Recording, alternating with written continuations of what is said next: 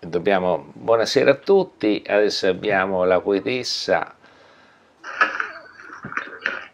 la poetessa Camilla che ci eleverà lo spirito. Vai, poetessa Camilla. Il magnetismo della Luna è una forza spettacolare che molte cose va ad influenzare. A me fa volare su di un carro di luce ed una potenza stellare. Quando è piena ho voglia di cantare e ballare e quando c'è l'eclissi un po' la testa mi fa girare ed un grande caldo dentro mi fa circolare. Il mio rapporto con la luna è speciale e se la guardo mi saprà consolare. E vai! Però come prima c'era anche scorreggiare, eh, ricordati. Anche la fatina con la luna. Perfetto. Eh, eh, quello anche ogni tanto scappa. Ho messo la fatina con la luna, non Ma so se quando ti scappa, perdi l'equilibrio?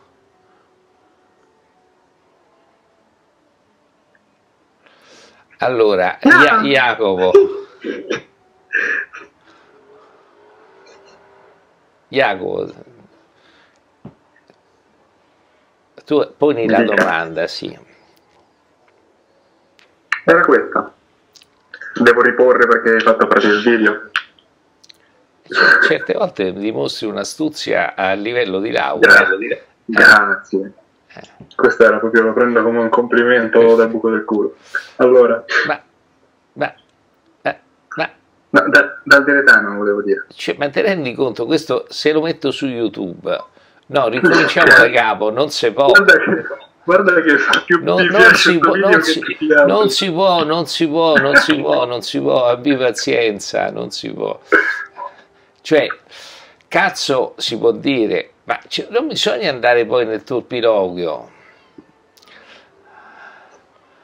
Dai, incominciamo, su. Ci salta la poesia, ma ce la direi alla fine. Scusa Laura, lo, o lo taglio, insomma. Eh. Dai.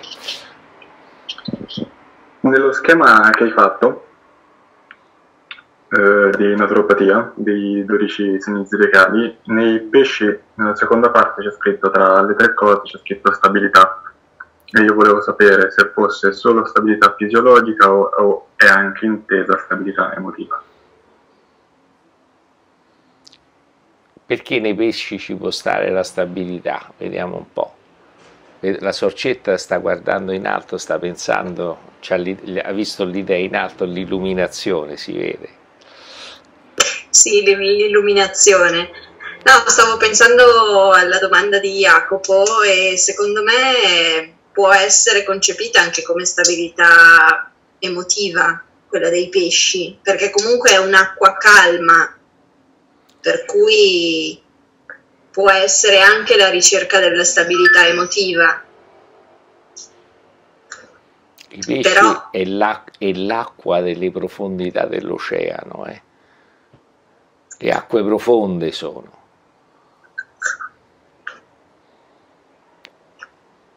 dove vagolava Nettuno, che sta vicino a Anzio.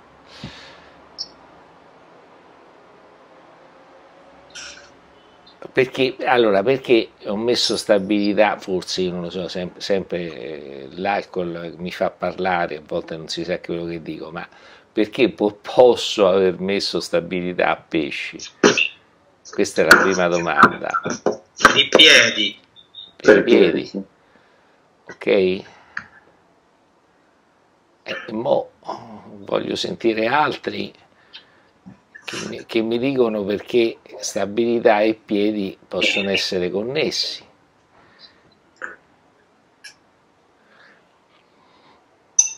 faccio anche un'altra domanda in caso di non stabilità emotiva si può essere stabili in piedi?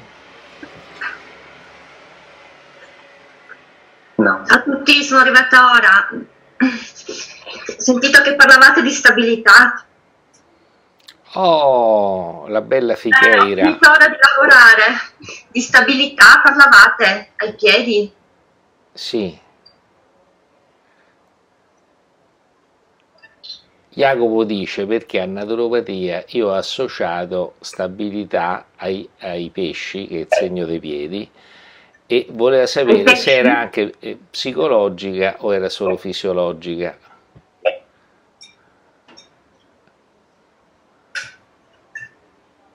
E allora io ho fatto un'aggiunta, Boh, voi dovreste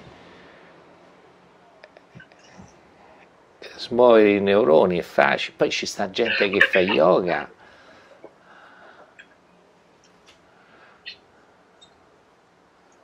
Per il senso di radicamento. La domanda era se eh, si può essere stabili con una mente agitata, con un emotivo alterato. No. Sulla mente agitata no. No, risposto Se no. ti metti in piedi vuoi, vuoi ricercare la stabilità, sì. Ma perché un pazzo non può stare in piedi? ma non Ma non stabile, stabile. non è stabile. Ah, Eh, sbarella, sì. Solito si ha tremolio, una persona un po' Ma no, instabile. senza il tremolio, ma se tu vedi eh, cosa fa chi è, chi è stabile per eccellenza, proprio come dovere, chi fa le arti marziali, no? Ah, equilibrio. Chi ha detto equilibrio? Io, Giusy, Giusto. ho un senso di equilibrio. No, stabile non c'entra con equilibrio. Se tu stai in equilibrio, io ti, ti- io ti tocco, tu ti, ti squilibro. Quando io nello yoga l'ho fatto fare varie volte, ho fatto fare quello che si chiama radicamento, poi sono andato vicino alle persone, ho dato un forte colpo su una spalla o sul petto, la persona è rimasta lì. Se invece una persona la metto senza fargli fare la stabilità, quello si può fare a yoga proprio, è divertentissimo. Tu dai un colpo alla persona, questa oscilla, cade indietro e ti manda pure a quel paese, ma se gli hai fatto fare il radicamento, attraverso una serie poi di cose fisiche, se non è indotto, eh, cioè anche indotto per carità, eh, la persona rimane lì e non si muove, sembra che sia piantato a terra. Chi è che se lo ricorda, l'ha visto? Chi l'ha visto? Che quando si fa il martedì? Francesca, Francesca l'avrà visto, almeno lei. Ah, ma certo, voglia. Sì, sì. Anche io l'ho visto, credo due anni fa. Anche a un tu l'hai seminario visto? Eh. Sì, sì, Cioè, davo le spinte forti sulle persone non si muovevano? sì, sì. Poi alcuni cadevano anche. E quello che cadeva se ne arguiva che non si era radicato. Ma quelli che si erano radicati era impressionante perché gli davo dei colpi forti e non si muovevano, vero? Sì, C'è chi lo yoga lo prende per un succo di frutta e quindi quando fa la pratica c'ha quell'elevatezza mentale. Ma se ti porto Io una volta avevo fatto una meditazione sul radicamento con eh, Daniela a Torino e eh, era, mm, avevo i piedi praticamente, ero in piedi, la medita- meditazione si, si faceva in piedi e i piedi mi si- sembravano incollati sul pavimento, cioè non si muovevano, Ma non te l'ha data la spinta, la, la sagra spinta, quella lo faccio No, attraverso, no. attraverso Però posso esercizi. dire che mi sono seduta per terra Eh. e i piedi sono rimasti lì, incollati. eh. E quindi non sei, non sei voluto tornare a casa. Eh? Hai strappato i tappeti per tornare a casa che hai fatto. No, poi dopo no, ma è una sensazione eh, eh, forse di, sì, di fermezza. Amore mio, ascolta, la Sì. sensazione può essere un'induzione, no? Sì, Mentre se uno ti dà una spinta e non ti muovi, non è un'induzione. eh, quello no- non l'ho provato, quindi Eh. non lo so. Vedo, Dumitrita l'ha visto, tu, tu ti, ti sei mossa, hai provato? L'ho fatto su di te, te, l'ha fatto qualcuno? Io mi sono mossa perché hai spinto anche a me, io sono mossa. Tu non eri radicata, però hai visto No. quelli che non si muovevano. Sì, E rosicando un po', spero, perché così la prossima volta impari a farlo. O il prossimo seminario estivo dove vieni, me lo chiedi e te lo insegni a fare perfettamente. Così se un Ok. domani vuoi fare l'albero come professione lo puoi fare. mi piacciono gli alberi. Come professione. No, Allora, mo ve ne racconto uno sugli alberi. Io facevo pranoterapia, altri tipi che non insegni adesso, e lì facevo sentire che forza c'era negli alberi, se c'era la forza ascendente o discendente. Allora c'era sempre quella che vi ho raccontato che l'avevo fatta mettere a girare intorno al sedere di quello che era messo a, a quattro zampe, no? E questa che gli apriva gli levava il mal di testa dal sedere eh, davanti a un bar e poi sono entrate quattro persone e, e l'hanno guardato. Sempre la stessa era. E allora questa, ah, qui, qui la sento, c'è la forza ascendente, tutti, tutti la guardiamo, si scoppia in una risata generale, aveva sentito la vitalità nel palo della luce, quello di legno.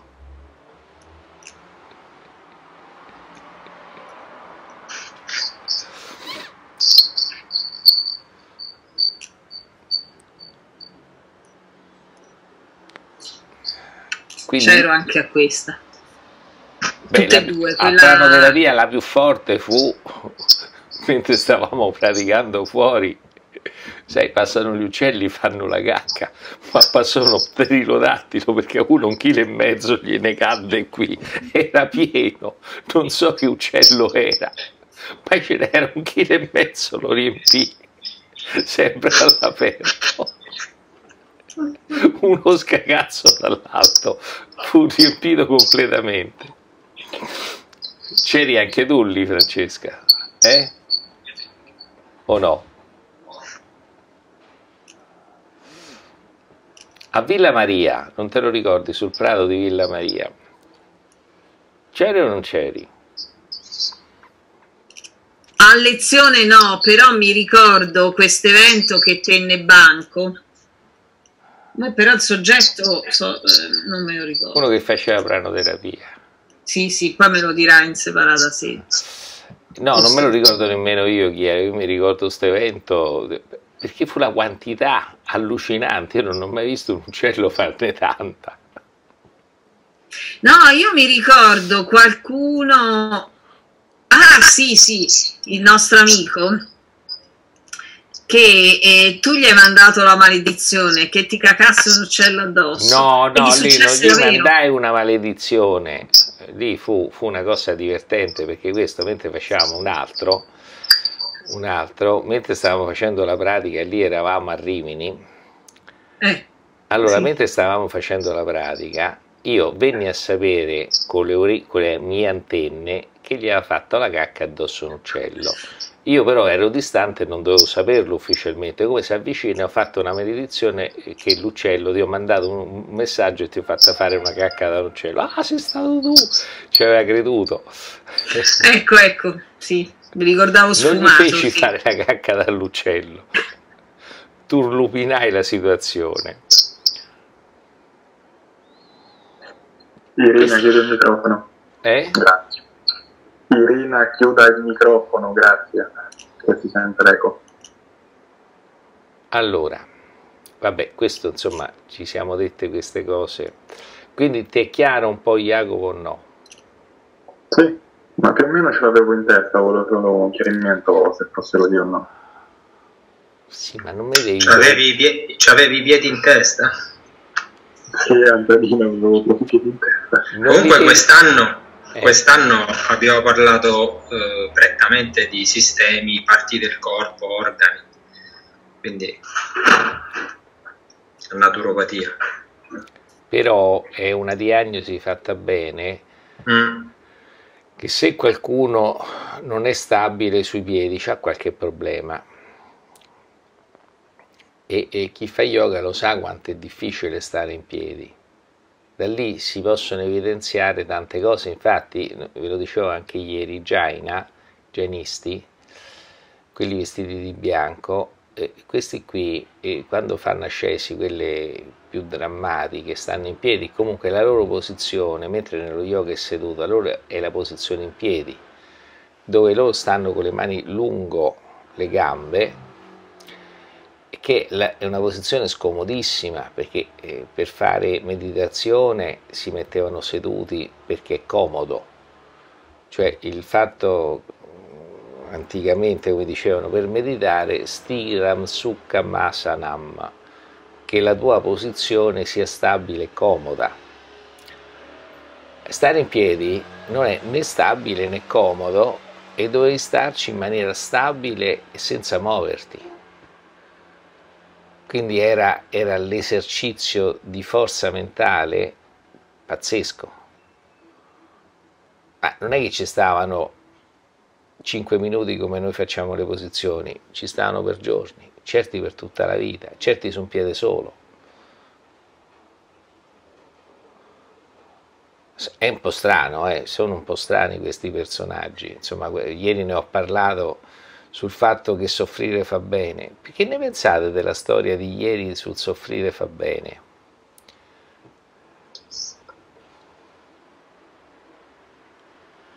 Lo vedremo a counseling questo bene. Ma che ne pensate? Che c'è domani counseling, Franci? Ah. Domattina no, 9.30. Che idea vi è dato il fatto del soffrire va bene a voi? Così? Perché soffrire va bene? Non capisco proprio questo. Ma c'eri ieri? Mm, sì, ma non ho ascoltato tutto e sono uscita prima. E te sei perso? andava vista la situazione. Antonella, Antonella, in quei giorni ha sofferto così tanto che quando è tornata alla normalità eh, c'è stata tutta la, la botta inversa di piacere che ha dovuto... No, ma lasciamo lasciare. perdere adesso il fatto, ma il fatto di, che soffrire fa bene, che ne pensate? Adesso a prescindere, lei Secondo fatto... me no. Secondo me no. Secondo me no. Penso anche solo a livello di lingua italiana, insomma, secondo me ah. un controsenso a monte.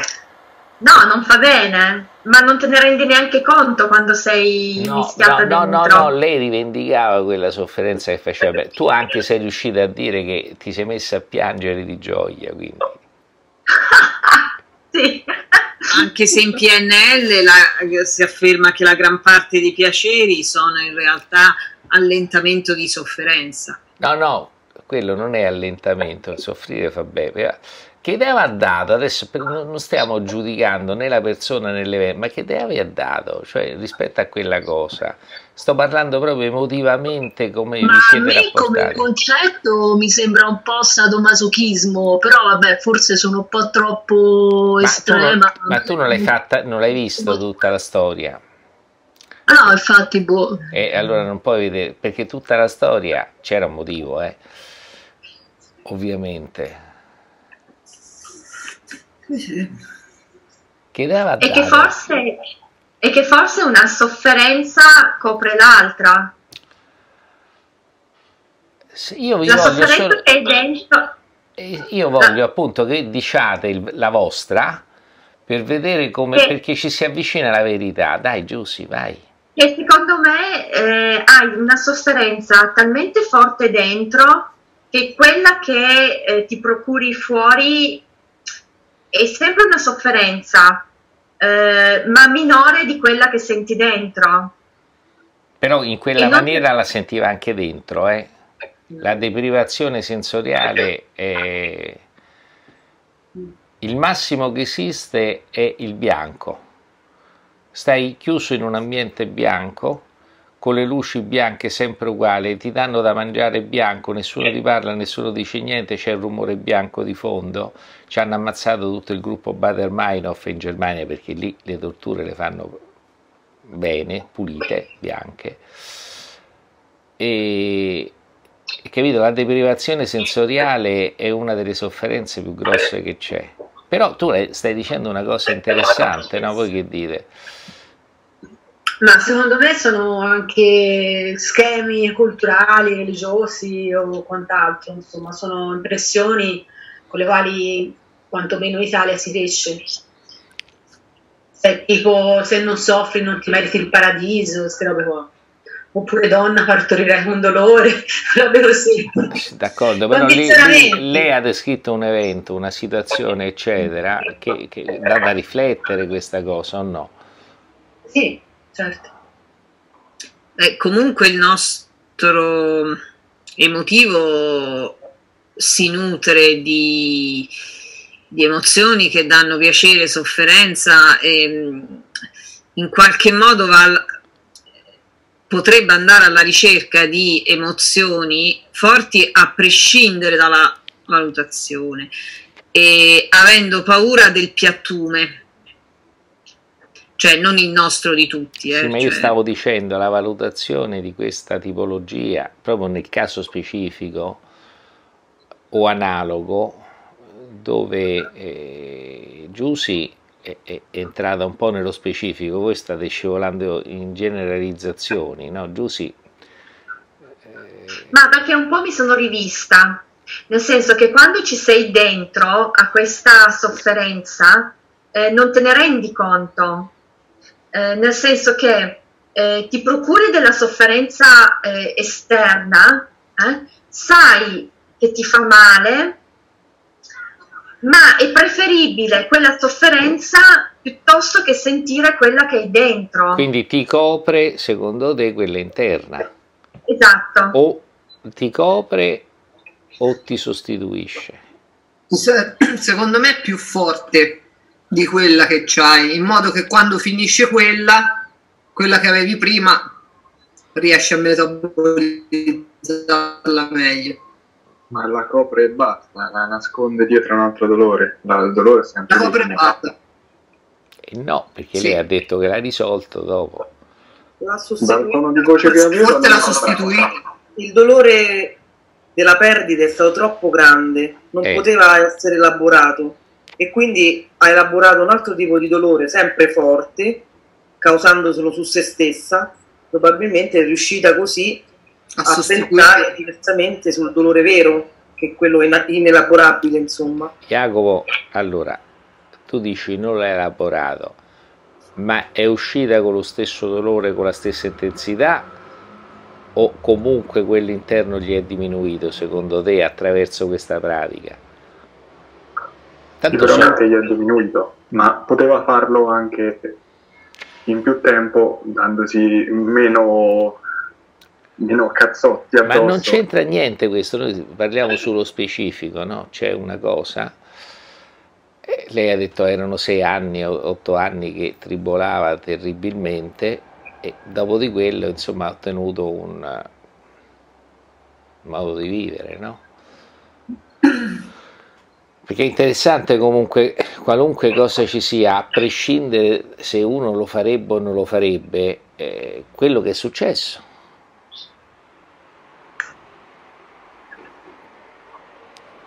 Perché allora uno probabilmente capisce perché c'è l'ascesi, che c'è dietro all'asceta.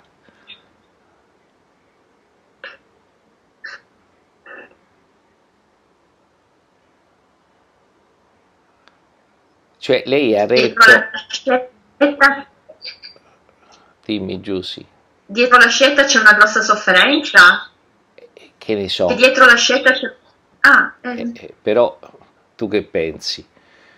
Che, eh, tu imm- eh, se fosse questa la, la spiegazione che lei dopo una settimana non ne poteva più e quello ci rimane per anni, che c'ha da avere dentro la scena? Una grossa sofferenza? Terribile, no? Sì.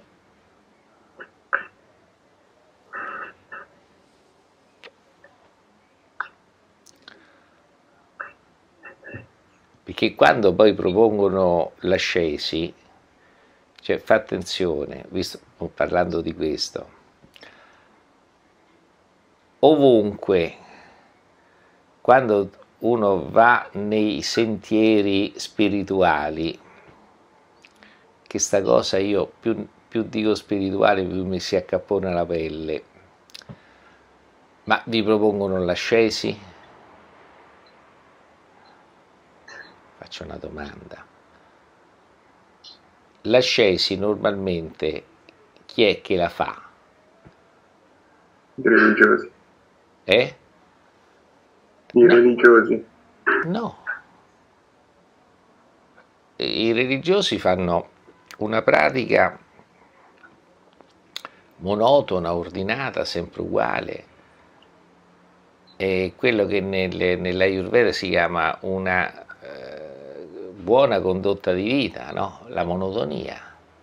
Il religioso è regolato su tutto. Vabbè, ma quelli di clausura però sono più, insomma, si avvicinano di più a questo discorso. Ma no? mica fa un'ascesi, prega, Ah, no? mangia, caga, dice il rosario mentre fa la cacca. Eh, non fa ascesi. Cioè, eh, eh, è normale flagellarsi, prendere il cilicio durante eh, in un monastero? Faccio una domanda, nostro o indiano?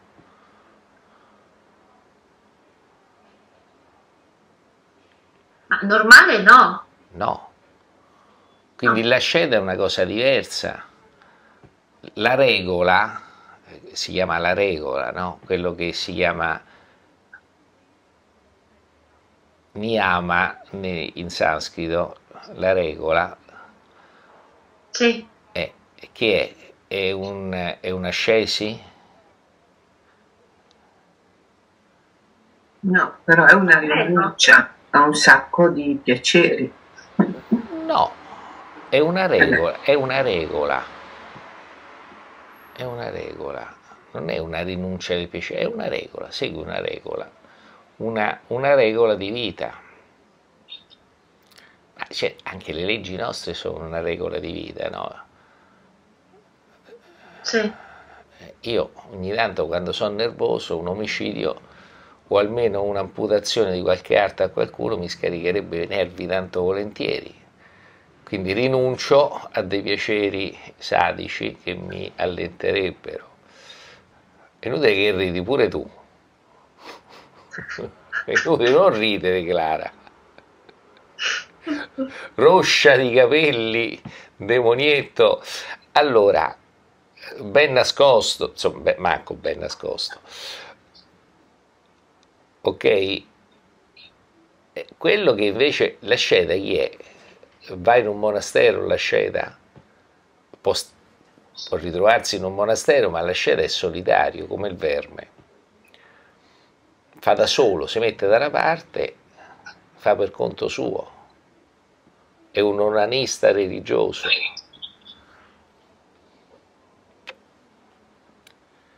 e si mortifica fino al punto in cui riesce o fino al punto in cui gli serve.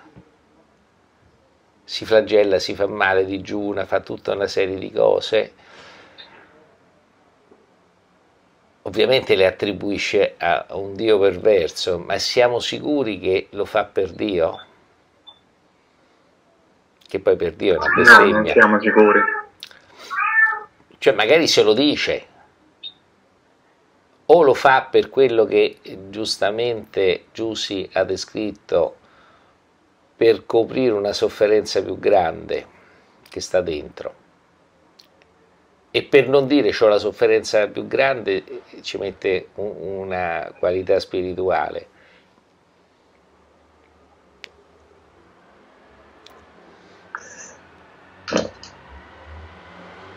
Che ne pensate? E le scedi sono, sono tutti mezzi nati. Eh? Che de- si dà delle scusanti. Mi ricordo Si dà? Delle scusanti. Cioè che lui eh, si procura dolore ehm, dicendo che è per un dio o per qualsiasi altra cosa. eh, Dicendoselo, delle- dicendoselo, dicendoselo. Intendetelo? Sono solo delle scuse. c'è tutta una tradizione che dice eh, che anticamente eh, si abbandonava la famiglia dopo una certa età eh, per andare poi da soli in un eremo e fare ascesi. Quindi non, Ah, Lucia, lì non non, c'era la non sofferenza. cose. Come no? Lucia, non abboccare Faceva parte della tradizione, quindi voglio dire che Lucia, non abboccare queste condizioni cose, era l'Inps che lo faceva fare, sì, perché quando non erano più produttivi li portavano nella foresta e la abbontonavano lì, mentre, come dico spesso, No, nel, no, mille- no, nel no. 1500, Prima, no, nel 1500 in Francia, quando nonno non produceva più, se lo caricavano sul groppone e lo buttavano nella Senna. Allora, questa questo meccanismo questo meccanismo viene poi canonizzato in modo tale di, senti, invece che te ci porto io, rendiamolo religioso, ci vai tu. Capito? Quelli sono i quattro, prima, sei, prima devi essere un discepolo, poi eh, devi farti costruire una famiglia, farti una carriera e poi andartene quello che sta dicendo sono i, i quattro scopi della vita, i, i quattro atti della vita indiana. Poi te ne devi andare a meditare nella foresta, ma hanno canonizzato, hanno reso spirituale un fatto di lascio nonno dentro la foresta così risolviamo il problema che noi gli diamo più da mangiare. Quindi non è anche lì Ma mi sembrava di aver capito che erano ancora in forze, quindi eh, non erano alla fine della loro, della loro vita queste ma persone. passava Magari ho capito male io. sì, ma quando Però ho era letto male. No, ma- allora, le cose poi quando vengono regolate, comunque c'è quell'altro che era più efficiente e prendeva il potere dei papà, no? Non succedeva Non come in si Inghilterra che la regina si tiene il potere fino, fino al pronipote, insomma, ci lascerà tutti. Dice, adesso sta a me, sono più efficiente io. E quindi tu vattene, però il principio da cui parte era proprio un principio di quando non sei più efficiente alla società, la società ti espelle. Molto cinica come cosa, eh? Tenete conto che la storia del cristianesimo non c'era queste, queste idee di eh, fratellanza, queste idee di curare il debole, non c'erano. Debole dava fastidio, i ro- romani li buttavano dalla rupe, insomma. Quindi non, non c'era nemmeno il culto della vecchiaia, lì eh, un popolo si agguerrì, immaginate un popolo guerriero, quando uno incomincia a diventare panzone scorreggione, se lo tieni ti fa più danno e quindi ma- immaginate tra i militari, eh, tanto vale che lo mandi sul terreno minato così si diverte un po', riprende un po' di brio la vita. Però tu non svicolare dalla, dalla storia, chi è che fa la scena? Padre Pio, quando è stato esaminato dal eh, presidente dell'ospedale psicanalitico e dice che lui si grattava e si faceva le ferite e quindi l'hanno visto come imbroglione, ok? Poteva essere imbroglione con un fine e si metteva, cioè, gli hanno trovato proprio le ricette che prendeva in farmacia una cosa per non far cicatrizzare le piaghe che lui si procurava da solo, dove stavano le stimmati. Ma se noi prendiamo invece semplicemente il lato psicopatologico di Padre Pio, lui facendosi le stimmati soffriva come Gesù, era come uno che si flagella col cilicio. Leggiamolo anche in un senso non di truffa, che poi la persona un po' truffa, un po' fa, un po' è, la persona non, non è perfetta, no? Quindi può averci altre cose. Però il farsi male, come si faceva male Dio, come si faceva male Gesù, ma dentro che c'aveva quest'uomo? Che poi cazziava tutti. Aveva un dolore immenso. Sì, Sicuramente non apprezzava la vita. c'aveva un odio su tutti. Non apprezzava la vita. tu- non apprezzava tu- la vita. Eh, ma Eh, sì, ma eh. dentro che c'aveva? Eh, capito? Io voglio dire, dentro che c'hanno questi che fanno l'ascesi, quindi l'ascesi probabilmente come Hanno un odio che, repri- che reprimono e dicono di amare tutto quanto. Lascia, que- lascia perdere adesso il valore negativo verso i terzi. Hanno questo senso di frustrazione enorme, ok? E in cui probabilmente, come dice Giussi, dolore esterno mi, le- mi limita, mi controbilancia, mi allevia il dolore interno, no? Ci può stare, o no? Che dite? Sì. Sì. E infatti quando vi spiegavo che Buddha poi ingrassò, si vede proprio nell'immagine, e morì di indigestione, è proprio l'esempio, l'esempio di uno che non aveva mangiato niente, chi ha visto le dispense di, di digiuno, ho fatto vedere l'immagine del Buddha, è impressionante o no Antonino? Sì, sì, eh, è una pallottola. Lui diceva che mangiava un chicco di riso al giorno, cioè nelle agiografie si è un po' esagerati, e l'immagine era proprio, quando si dice pelle e ossa, quell'immagine era proprio pelle e ossa, una mummia è molto più polposa di quell'immagine del Buddha, giusto? Tecnicamente i muscoli non gli dovevano ri- ritornare, era ormai nella fase irreversibile, quando uno a livello di medicina si arriva a quello stato muscolare, ormai è finito. Però adesso a prescindere eh, le esagerazioni che fanno, Buddha infatti a un certo punto disse risolse il problema che sto facendo, ma che ci faccio con l'ascesi, né con l'ascesi. E poi a me quello che fa ridere è che questi gruppi che si rifanno al buddismo creano l'ascesi. Anche quando vi ho spiegato il Soto Zen, che fanno vari monasteri giapponesi, la deprivazione sensoriale totale sul muro bianco è allucinante. Provateci, eh.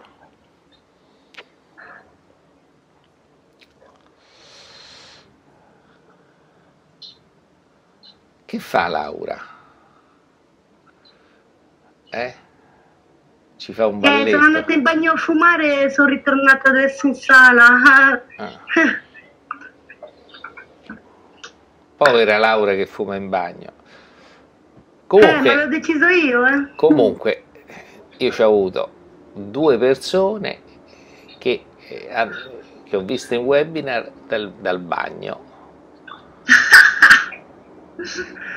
Una quando era ieri o l'altro ieri e un'altra durante una lezione di counseling, mi sembra, no, di pranoterapia. E poi gli faccio, ma dal bagno? Fa, "Eh", dice, è l'unico posto da cui si sente. Vabbè, dico, però almeno levami gli asciugamanetti, facciamo finta che non si veda che stiamo inquadrando il bidet con la tazza vicino, no? Cioè, mettici qualche... che la pranoterapia. Sì, ma poi l'ho rivisto ieri, ieri o l'altro ieri c'era un'altra inquadratura di un gabinetto. No, era forse una camera da letto e vedevi la porta del bagno, cioè perché poi era aperta verso il bagno. No, no, c'era tutto il bagno che si vedeva. Sì? Ah, allora non c'è. Chi è che mi dice sì? L'innominata, chi sei? Serena, l'hai visto? Sì, sì, sì, sì, era in bagno, era in bagno, assolutamente. Eh. Eh, Sì, non è, sì. è buffo perché si, si riesce, qui noi riusciamo a vedere tutto e di tutto, no? Ma può essere anche, ah, per me è divertente, il problema mi sorge sempre quando io lo pubblico, dici ma che gente frequenti, perché poi come immagine c'è sempre qualcuno.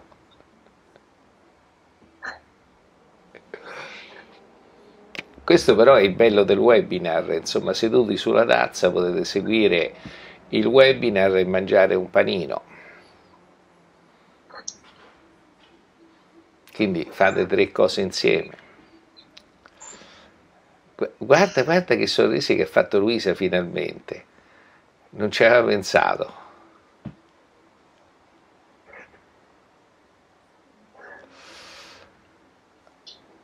Allora, Jacopo ha portato un esempio, cioè ha chiesto una cosetta, vabbè, io ne ho introdotta un'altra, che è partito tutto dalla stabilità, ma sta anche a voi andiamo avanti, io ho tre giorni di dura lena e poi farò l'ultima domenica pomeriggio, l'ultima l'ultimo incontro di yoga della potenza gratuito. Quindi chi ama seguire quello adesso non so che faccio, mi era venuto in mente di rifare la cascata, di fare un pezzetto sulla cascata che è molto bello. E Francesca potrebbe fare in uno dei suoi Qigong la cascata lo stesso, che nel Qigong è altrettanto bello. Eh sì, eh. Io tra l'altro l'ho introdotta nello yoga della potenza dal Qigong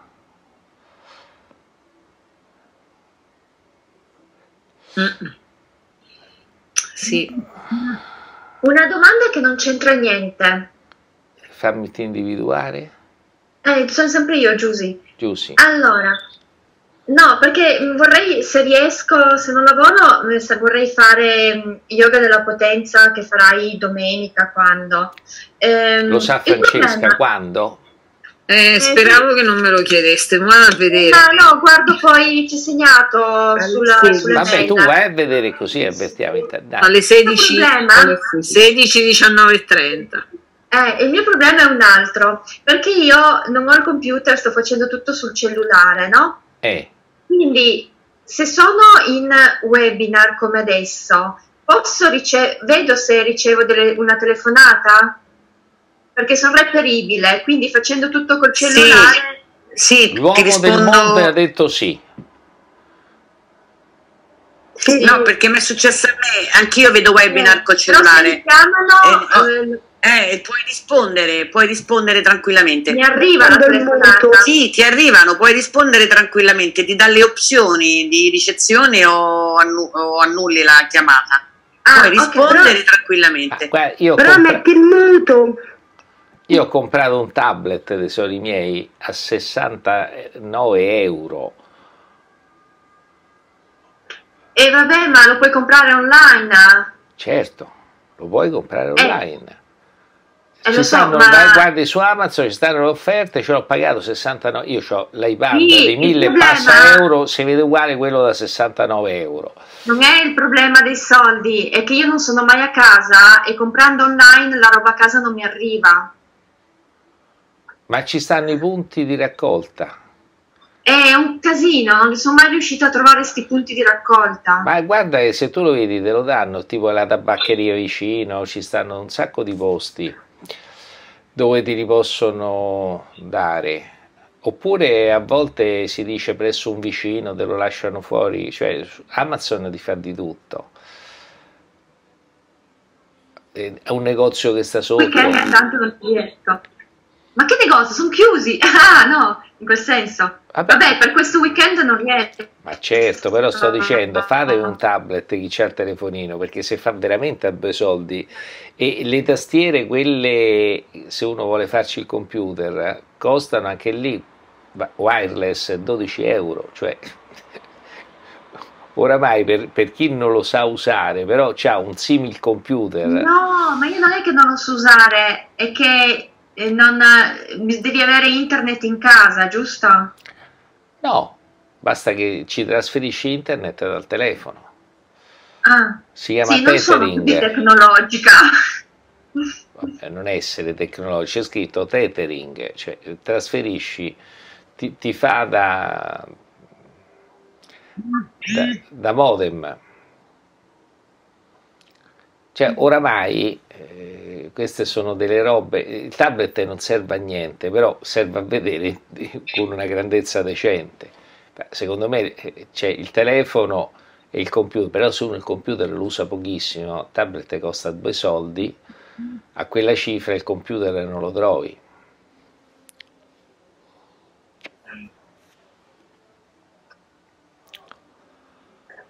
Questo ve lo dico in assoluto, no? Anche per rivedervi i video che facciamo, le cose, il telefono spesso è troppo piccolo. Un 10 pollici di tablet è già accettabile.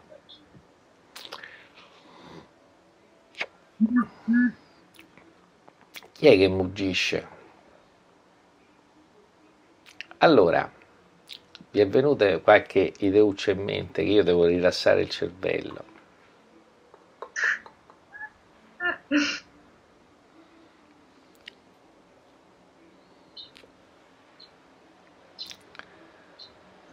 Ciao Rita, non ti si vede più vicino, ormai ti vediamo solo a distanza.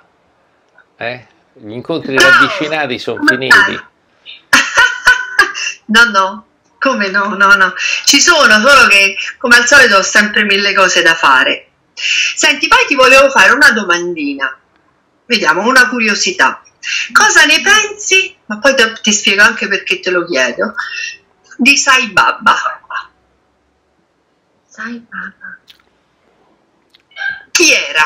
In effetti, chi è? Allora, Sai perché? Scusa, ti posso spiegare anche perché. Perché così dopo. Perché mio zio, che adesso è defunto, praticamente mh, ci si è praticamente rovinata la vita, nel senso che aveva una bella pasticceria a Leonessa e gli ha dato più soldi che tu neanche te lo immagini. allora Cioè, nel senso che adesso è morto, e a parte che tutti sanno che era Arnold da grande. Cioè? Arnold, il famoso Arnold, il negretto piccolo adottivo in quella famiglia con altri due fratelli e un padre. No, quando, beh, io- quando è cresciuto, quando è cresciuto è diventato Ma selvaggio. dai! Beh, sì, e, e come Telma e Massimo Boldi lo sanno tutti.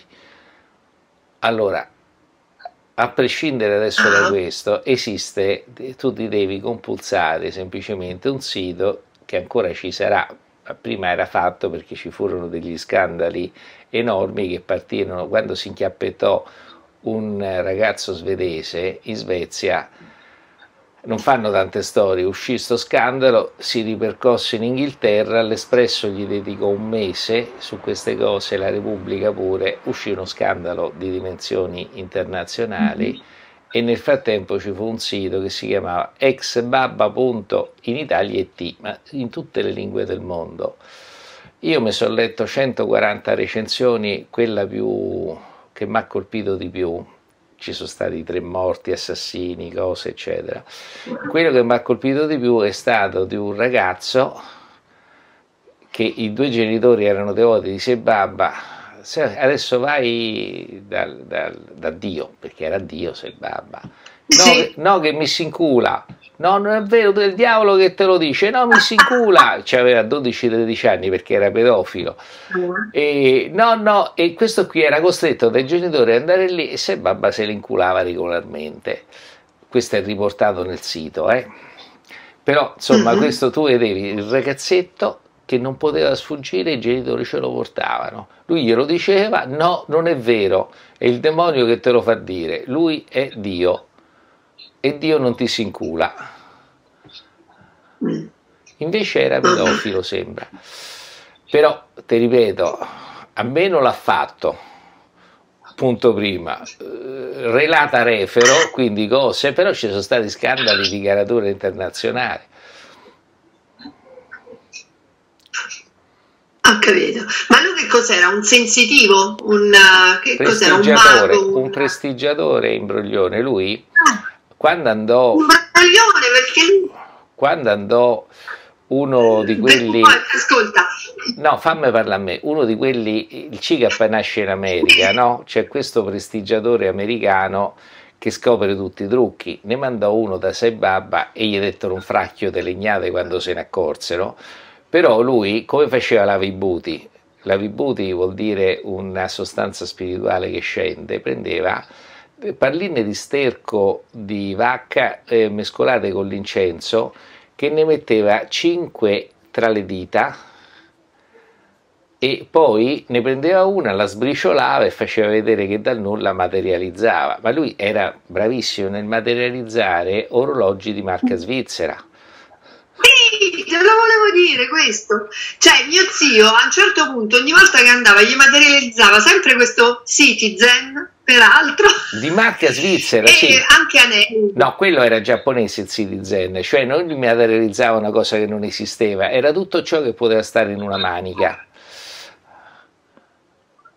Infatti ci andarono i prestigiatori erano trucchi, ma sai, se la persona eh, vuole trovare il misticismo, chiude gli occhi a tutto, insomma. Però il ragazzetto Sì. veniva inchiappettato e i genitori non ci credevano, questo era il dramma. Non dei genitori sono stupidi e gli danno tutti, perché all'idiozia non c'è limite, ma quello che non c'entrava niente. Tu immagini a che, punto, mia, a che che punto si arriva, ma guarda, tu prova a battere exbabba.it e te leggi una serie di storie che se sono vere sono impressionanti. Però ci sono stati, ti dico, scandali che sono durati anche in Italia un mese, i telegiornali, l'Espresso, la Repubblica, quindi fonti attendibili, Svezia, Inghilterra, anche da altre parti del mondo probabilmente. Gli inchiappettati di tutto Ok, il mondo a un, certo punto, a un certo punto hanno- si sono aperti e Mhm. a tutte sole, eh, da. Yogananda, da Yogananda in, in giù, tutta questa serie di persone sono, va- vanno, a che- vanno a vedere su la povertà di certe persone, si approfittano de- del dolore, della, si approfittano. Sono conniventi tutte e due, eh, cioè chi ci va è lui che gli fa la sceneggiata. Alla fine. Grazie. Ma manco puoi dare la colpa, insomma, perché chi- i, i praticanti di Sai Baba sono dei Sai Babbei. Eh, Sì, infatti, per carità. Lui, ma Porello, poi quando è morto eh, mio zio, eh, la sua tomba mi ha inquietato proprio, perché ultimamente l'ho vista. No, senti, ha fatto una lapide con Sai Baba, ma tu devi vedere enorme, si è messo nella nuda terra con questo Sai Baba enorme, con sta foto, e, tipo un, un decoupage ci ha fatto, lui e Sai Baba, ma, cosa lui, ma lui diceva di essere proprio Dio e tra l'altro i più grossi, mh, quelli che c'erano di più con Sai Baba erano gli Hare Krishna, perché lui si proclamava avatar e non fa parte degli avatar canonici perché l'ultimo che ci sarà, che segna la fine del mondo, il, il penultimo è stato Buddha, che per, che per loro è la reincarnazione della menzogna cosmica, tanto per dare un'idea di quanto Mhm. ci vanno dedicati pure i Vishnuiti, e c'è Calchi, il cavallo bianco si chiama. Sai Baba non c'entrava niente, cioè nel- gli avatar appartengono al sistema Vaishnava e quindi quando questo si mette a fare l'avatar si incazzano a morte. Quindi se volete avere un giudizio molto critico, sentite una regrisa dove sono pacifici su tutto meno che su Sai Baba. Mm, ok. Mentre il loro, il loro maestro, eh, Prabhupada, che sta ai piedi del Signore che manda luce, Pada vuol dire piedi, Prabhu è l'aura luminosa che si effonde dal dio Vishnu, c'era tre fabbriche d'armi, ma anche il Vaticano sembra, insomma. Forse qualcuno ce l'avranno avuto in comune. Perché è bello che più ti parlano di spirito e più dietro gli scopri de- degli altarini. Ma c'era un giro di soldi se babba enorme per cui corrompeva la polizia perché ci sono stati vari omicidi anche lì dentro. Sì, sì, ma lui ci si è veramente rovinato, cioè ha mandato veramente in malora tutta la, la- la baracca, eh, per Sai Baba. Andava, comprava, gli portava tipo eh, le, le penne per i bambini, non so, comprava cose da cartoleria, ma Poi diceva cose. che faceva del eh, bene, portato... diceva che faceva sì. del bene, ma dava delle molliche sei babba. Sì, è vero, è vero. Era un avido. Comunque, vabbè, questo.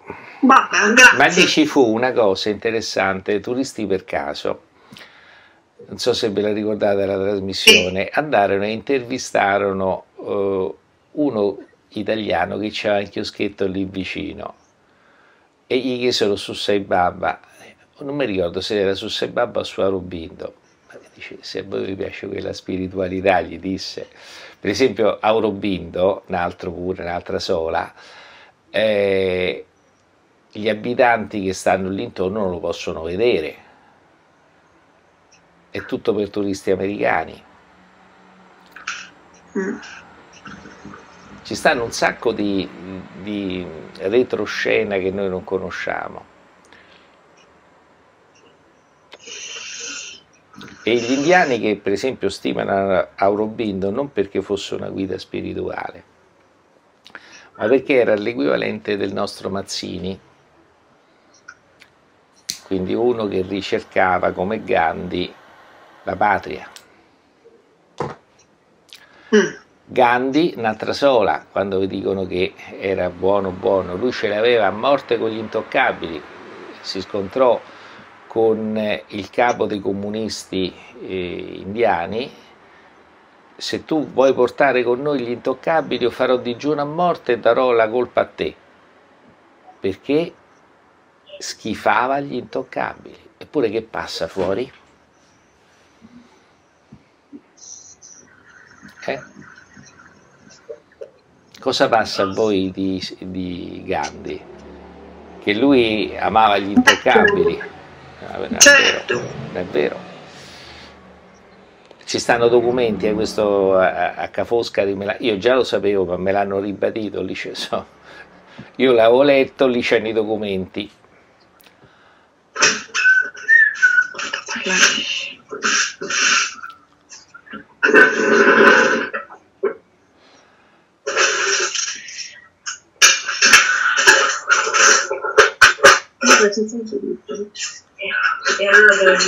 Ragazzuoli, se c'è un'altra domanda, perché io se no mi ritiro.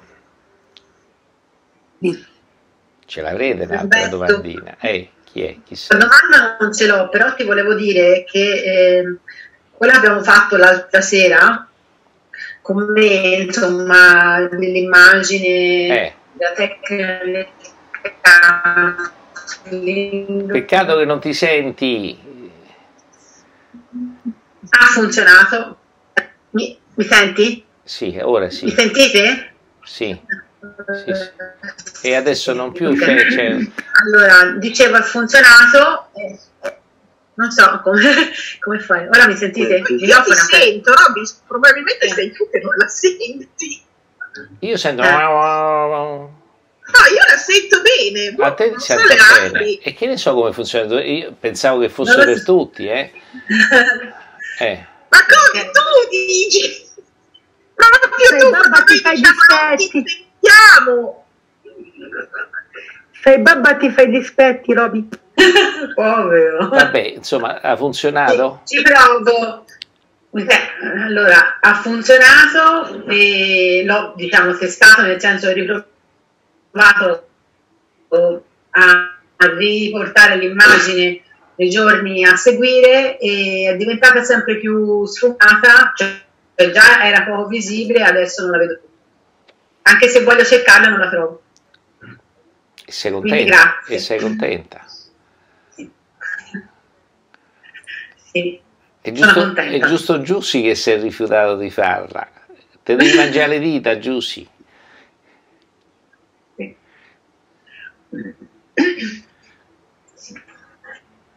Comunque, dato che domani ci abbiamo counseling e se ti inserisci solo per un pezzo, te la possiamo fare lì.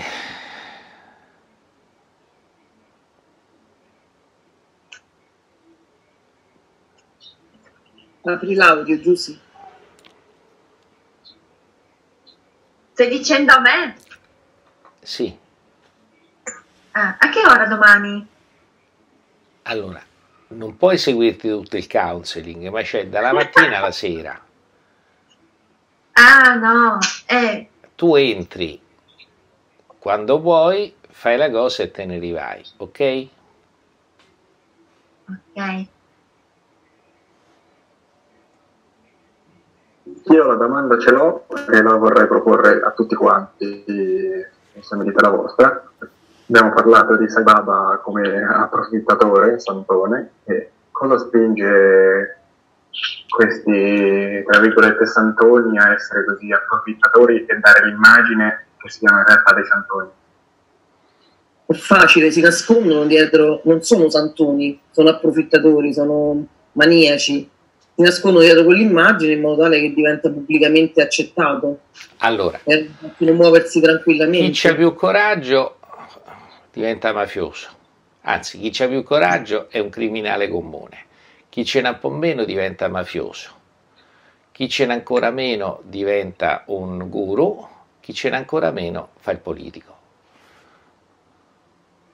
Quindi la cosa più bassa che c'è è il politico. Oh, ci scherzo però. Che dite? Che sono approfittatori che indorano la pillola per far credere alla gente determinate cose e poi sfruttarle e li manipolano. E si approfittano di quelli più deboli. E beh, mica puoi approfittare di quelli più forti, Laura. Se chi si approfitta di infatti. quelli più forti è Robin Hood. Che però non è ben visto dalla Confindustria. Cioè, non è tra gli eroi sponsorizzati della Confindustria, no? Mentre dal grasso capitalismo chi si leggeva Alan Ford, chi è che conosce ancora Alan Ford? C'era Super Ciuc che rubava ai poveri per dare ai ricchi. Anni 70, è carina come cosa. Vero, vero. E il suo emblema, Super Ciuc, c'era un fiasco in mano, eh, calza, calzamaglia tipo Robin Hood, però lui rubava ai poveri per dare ai ricchi. È vero.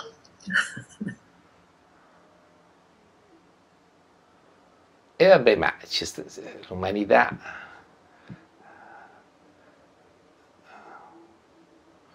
Ma poi la degenerazione, quando fai queste cose, è progressiva, perché a un certo punto, man mano che ti danno consenso, ma guardate gli attori che pontificano su tutto e su tutti, io adesso ho sentito, ho pubblicato anche su Facebook un'intervista di Scanzi che ce l'ha contro Sgarbi. Scusate, Scanzi chi è? Nel delirio suo sembrava Dio in terra, Scanzi, eh?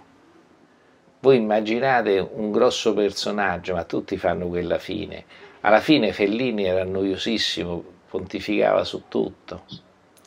Perché man mano che tutti ti idolatreggiano, tu sei portato, anche senza volere, ad avere questo atteggiamento eh, superiore. Pensateci un attimo, cioè ti- è, è una, è una cosa progressiva per cui perdi il contatto con la realtà e pensi che tutto quello che dici è giusto, quello che fai è giusto e diventi arbitro della vita di tutti, è giusto che ti diano tutto perché comunque gli porti il benessere. Cioè, ehm, la malafede c'è quando tu sei il piccolo truffatore di strada che ti vende il Rolex falso. Ma quando arriva a quei consensi c'è l'identificazione con il personaggio.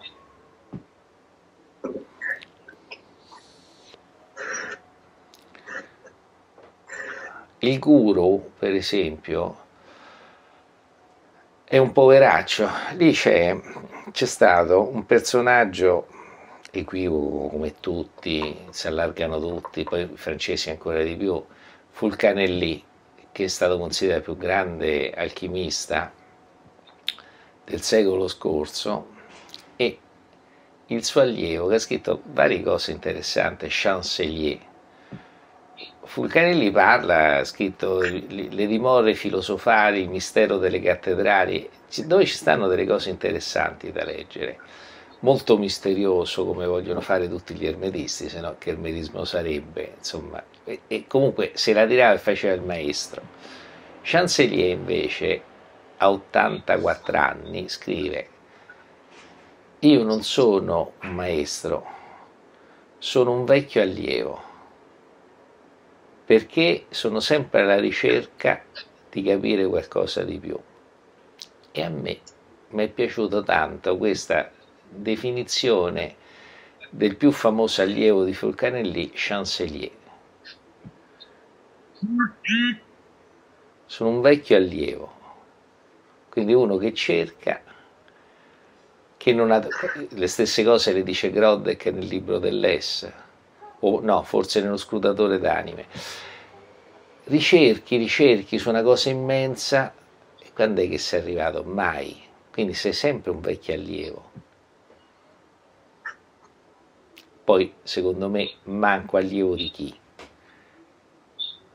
Se c'è una cosa bella nello yoga, l'antar guru, guru di te stesso. Prima c'hai il guru esterno, una persona di riferimento, il mentore, ci può sta, è ovvio, anzi, forse è necessario, però alla fine sei te stesso il, il maestro di riferimento e quando sei te stesso ci stanno due cose, o ti sei riempito perché c'è il cervello piccolo piccolo e quindi sei pieno di te perché sei tutto, oppure ti accorgi che non sei niente o sei una, una, una briciola e allora ti piace stare alla ricerca costante. Senza perseguire più una regola, un maestro, ma semplicemente cercando di saperne un pezzetto di più. A me piace questa visione. A voi? Roberto. Chi sei tu? Sì, ma non è un po' come il percorso anche con Alessandro Milano? Eh. Una volta detto Alessandro, però, eh, sì, forse è la linea mia, che ti dico? Non si sente? Infatti la mia Io connessione è instabile, mi dice, sì, è la mia. Io ti sento. E perché lui sta a Milano, lui sta a Milano, voi state a Milano. E ah, ci beh, stanno... No, no, sto scherzando, cioè è la connessione qui è instabile. Okay.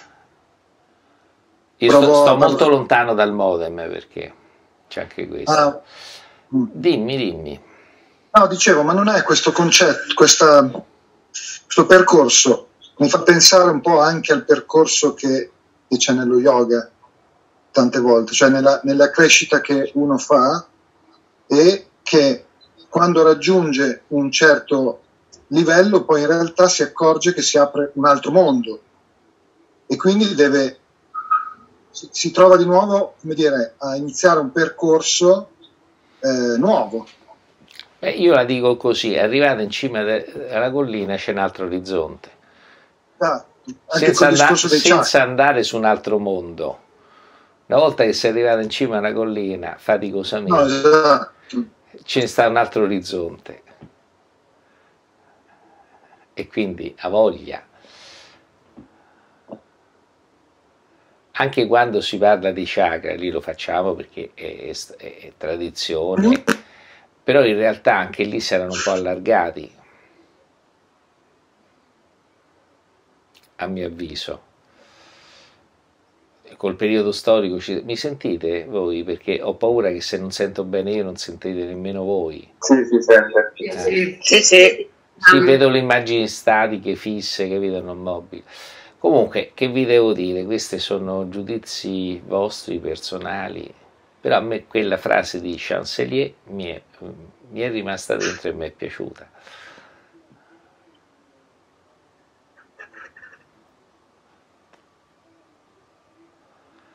Allora.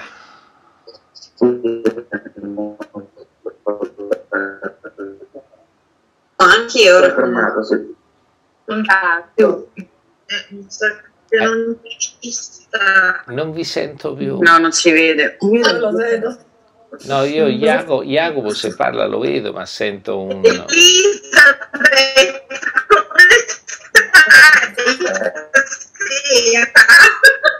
Ma io rido sempre, eh, tu non mi dici una cosa mi da ridere. Eh, è il mio carattere. Mi facevi morire giapponese. Mi prendo le critiche.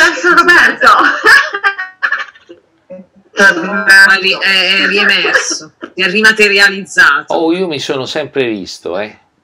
No, no, io, io mi vedo lì davanti. Noi no, non ti vedo, almeno non ti vede. Sì, ma c'è evidentemente questa connessione qui. Io ho un problema, io ho Fastweb, già l'ho spiegato una volta. Fastweb non è una linea come le altre, è un anello. Io sto in quell'anello che va alla Repubblica e in mezzo ci sta quello che mi vende i computer, che, che sono anche quelli che fanno tutto il layout della Repubblica e dell'Espresso e a una certa ora lo mandano alla Repubblica, intasando completamente Fastweb che gli dà la linea prioritaria e se la mangia a tutti gli altri, perché sono tutti birbaccioni, non è che eh, ognuno ci trattano uguale. E quando, quando non succede questo ho delle velocità impressionanti. E ancora non c'è la fibra ottica, la stanno mettendo adesso, ma quando con, con, questa fibra normale eh, passano alla Repubblica, eh, dovrei mettere il cellulare, però io do, dopo ho paura che se ne vada la linea. E poi adesso ci stiamo salutando, quindi forse, forse di necessità bisognerà salutarci, comunque l'ora è tarda, è un'ora e mezza che, più che stiamo insieme, io domattina mi devo svegliare di buon'ora perché devo continuare le dispense di naturopatia e questo mi succederà anche sabato mattina. Sabato mattina che c'ho Francesca? Naturopatia. Naturopatia. E quindi manco, manco c'ho, eh, ce l'ho solo sabato mattina o tutto sabato? No, c'hai sabato mattina, sabato pomeriggio, domenica mattina. Ah, eh e quindi comunque un pezzo lo farò pure domenica mattina perché faccio a tranche. Eh, anche perché c'erano varie eh, cosette eh, spocchiose da vedere sia sui gemelli che sulla bilancia.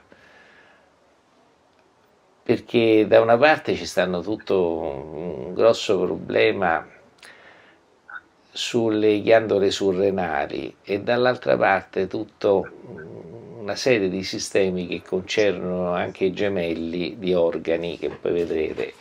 Perché io l'ho sempre fatta semplice in realtà analizzandola un po' meglio ci stanno un sacco di particolari che non avevo messo fuori. Il che quando li trovi ci vuole poco ma poi gli devi dare da mangiare i particolari cioè come li curi? E quello è un po' il problema. Perché certe cose con le quintessenze andavo liscio, ce n'è una, vai. che rimangono sempre un, un, capolavoro, però visto che ormai ho presa la fissa che tutto si cura con l'alimentazione, mi sono incastrato da me e quindi la devo dare ben fatta. Anche se io ritengo che quella generica funziona bene, però trovando anche quegli aspetti un pochetto specialistici, cioè alimenti per la sinusite. Faccio un esempio. Eh, sì, quali sono? Dopo domani. Perché tu sei, c'è la sinusite Alessandro? Ma ce l'ho avuta per tantissimi anni. Tu... Poi eh, ho eliminato i formaggi. Eh.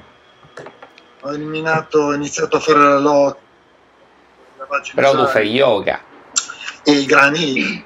Sì. E quelli sono quelli generici dell'elemento aria, ma non sono gli specifici per la sinusite.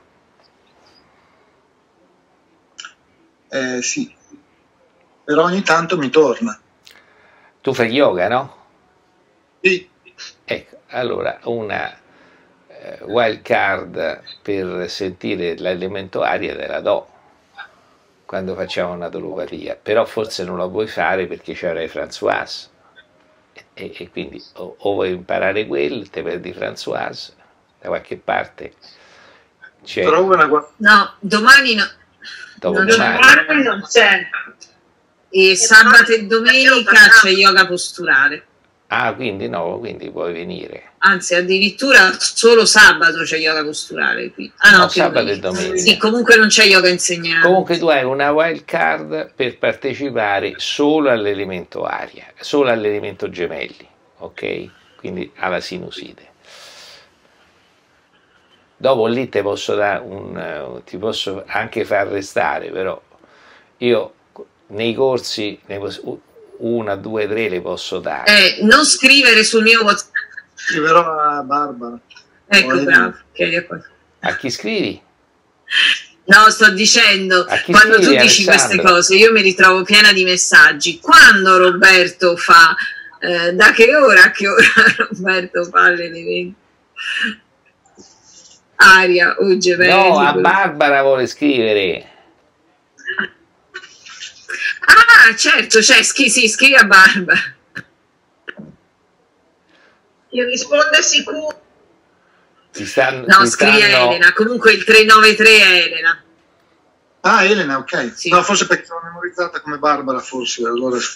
Ah, le- sì, l'anno scorso, sì. Ma tu se mi vuoi fare una cortesia, chiamala Barbara. Poi se ti dice sono Elena, eh sì, vabbè, ma siete uguali. Guarda la, reazio- guarda la reazione, perché No, questa... meglio di no. Sì, No, meglio di no. e c'è paura di Elena. E poi mi, mi, mi esclude dai gruppi. No, e, e cavo sono io. Non può. Fa- fammi questo, io ti faccio entrare, però tu gli devi fare questo gioco a Elena. Che a, bo- a bocca sempre. No, ma mi, mi pensavo che foste parenti. A bocca sempre lei. Su questo è divertentissimo. Gu- Guarda Luigi come ride. Eh? È, è pessima Luigi. No, guarda. perché mi immagino la reazione che avrà Elena se gli dice che l'ha scambiata per mano. No, scambiata, pe- pensavo che foste parenti. Ah, ecco, è Perché peggio. Ve- vedo, vedo tante similitudini.